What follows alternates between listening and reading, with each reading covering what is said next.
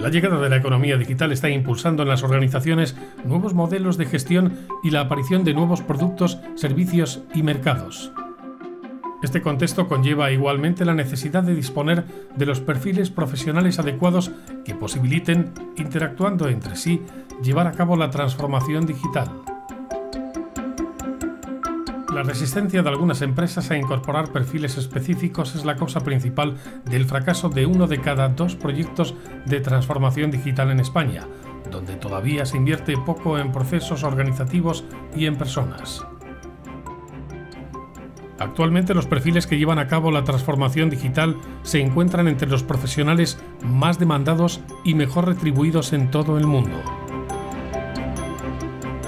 aportan el dinamismo necesario al negocio ya presente en empresas nativas digitales.